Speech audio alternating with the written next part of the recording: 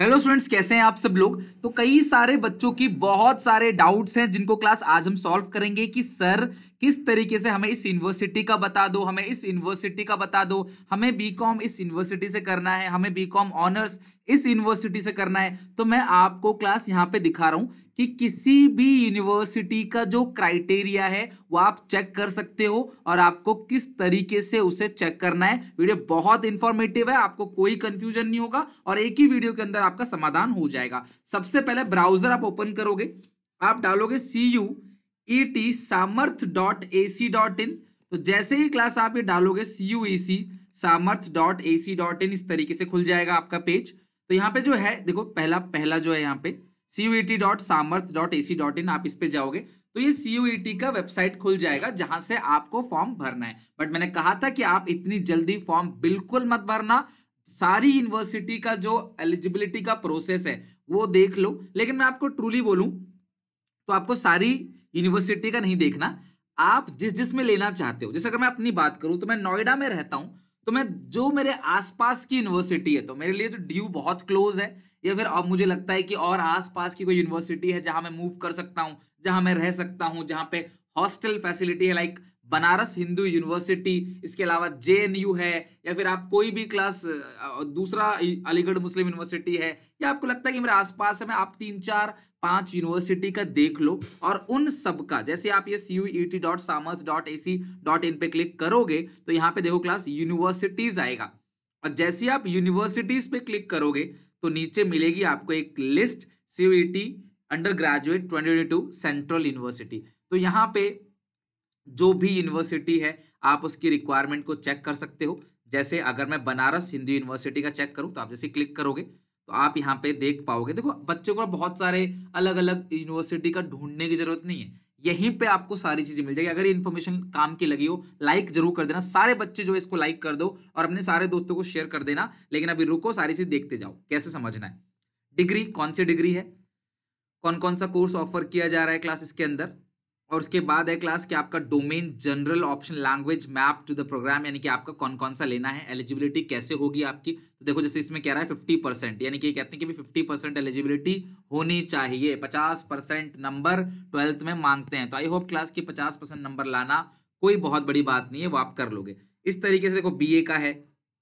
तो बी ए शास्त्री देखो ऑनर्स है तो आप इसको चेक कर सकते हो, इनकी क्या क्या रिक्वायरमेंट है okay B L L B फिर भी अगर आप कोई बोलोगे तो मैं डिटेल वीडियो बना दूँगा उसके ऊपर, लेकिन मैं चाहता हूँ कि आप खुद एक बार रेस्पॉन्सिबल बनो, खुद देखो। अब आप ट्वेल्थ पास आउट होकर यूजी में जाने वाले हो अंडर ग्रेजुएट होने वाले हो आप तीन साल बाद आज से।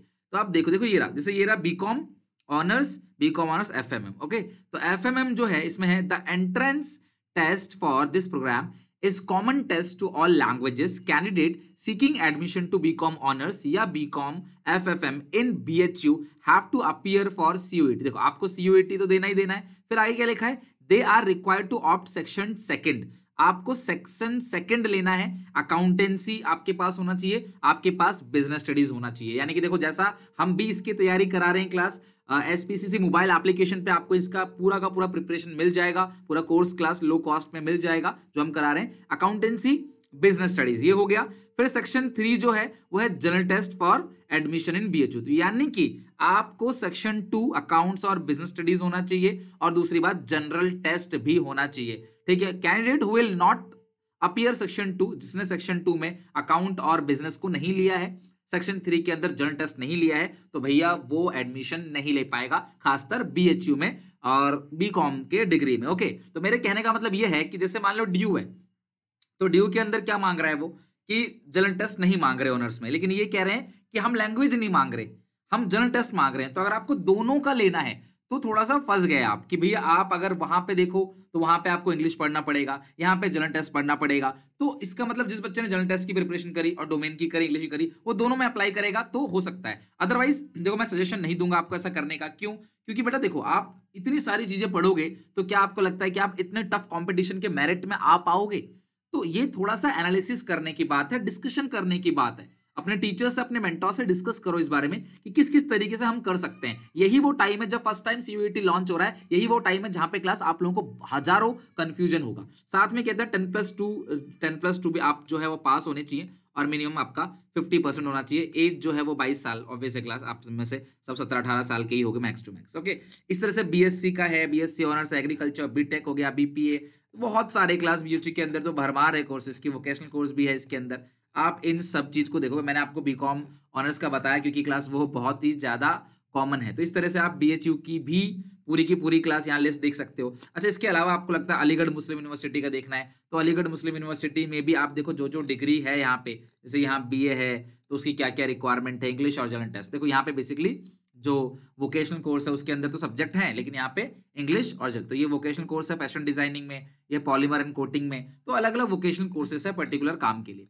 तो आप हर एक, कोई भी यूनिवर्सिटी हो, देखो यहाँ पे C U E T dot Samarth dot A C dot in पे जाओगे यूनिवर्सिटी पे जाओगे, जाके आप सारी की सारी इंफॉर्मेशन जो भी आपकी यूनिवर्सिटी है, जो भी आपके आसपास लगता है, जिसके वेल नोन हो, आप फैमिलियर हो जहाँ आप शिफ्ट कर सकते हो, उसका देख के आप प्रिपेयर कर सकते हो। देखो ड्यू का तो हमने सुबह ही डिस्कस किया था। ड्यू का देखो, ये पूरा देर का। अब मैंने सोचा कि आपको 45 वीडियो अलग अलग बना के दें, बहुत टाइम वेस्ट होगा। आपका और आपका बोर्ड का टाइम है बोर्ड आने वाला है। इतना टाइम नहीं है, आप सीधा यहाँ से जो है, अपनी एलिजिबिलिटी चेक कर सकते हो। कुछ नहीं समझ आता, कुछ दिक्कत आता है तो कमेंट करो क्लास वहाँ पे आपको आंसर मैं नहीं तो कोई ना कोई बच्चा क्लास ज़रूर एक दूसरे की हेल्प करो इस टाइम पे बिकॉज़ एक बार आपने फॉर्म भर दिया, सब कुछ हो गया, फिर टेंशन फ्री फिर आगे पढ़ाई ही करनी ओके तो आई होप क्लास ये आपको काफ़ी हेल्प करेगा। सिलेबस वगैरह अगर आपको चेक करना हो तो यहाँ पे देखो क्लास सिलेबस है, आप यहाँ पे डिटेल सिलेबस भी चेक कर सकते हो। अकाउंटेंसी एग्रीकल्चर ऑन्थ्रोपोलॉजी इसके बाद बायोलॉजी BST है कंप्यूटर साइंस है chemistry home science physical education teaching aptitude इन सब का सिलेबस है। यहाँ से आप सिलेबस डाउनलोड करके भी चेक कर सकते हो। कहीं भी मेरी कोई भी ज़रूरत हो तो मुझे बताना ज़रूर। फॉर्म अभी प्लीज़ मत भरना जब तक आप श्योर ना हो। हाँ अगर आप श्योर हो सारी चीज़ों के लिए तो आप फॉर्म भर सकते हो। मेरी तरफ़ से आपसे ऑल द बेस्ट आपका ड्रीम कॉलेज जहाँ आप जाना चाहते हो, जहाँ पे लाइफ आप करियर की शुरुआत करना चाहते हो, भगवान करे आपको ज़रूर मिले। ठीक है बाय बाय मिलते हैं नेक्स्ट वीडियो में। गॉड ब्लेस वीडियो अच्छी लगे तो लाइक करके अपने सारे क्लासमेट सारे दोस्तों को व्हाट्सएप इंस्टाग्राम व्हाट्सएप स्टेटस हर जगह लगा दो कि सारी यूनिवर्सिटी का एक ही आपको अलग अलग दस वीडियो देखने की ज़रूरत नहीं है। आप ट्वेल्थ में हो इतने कैपेबल हो।